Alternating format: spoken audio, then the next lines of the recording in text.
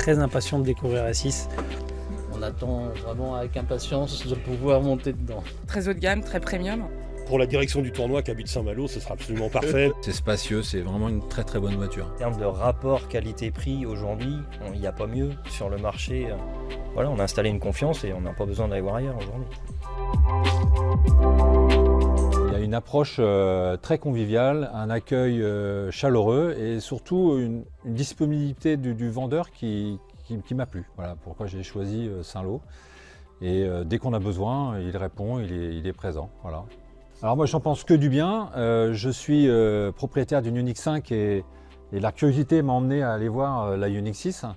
Euh, c'est vrai que la Unix 5 a un, esprit volume à l'intérieur qui fait qu'on a beaucoup d'espace. Et euh, ce, projet m'intrigue parce qu'apparemment il y a le même espace sur une voiture qui fait euh, couper. Euh, donc j'ai hâte de la, voir et, de pouvoir l'essayer, je crois, début d'année prochaine.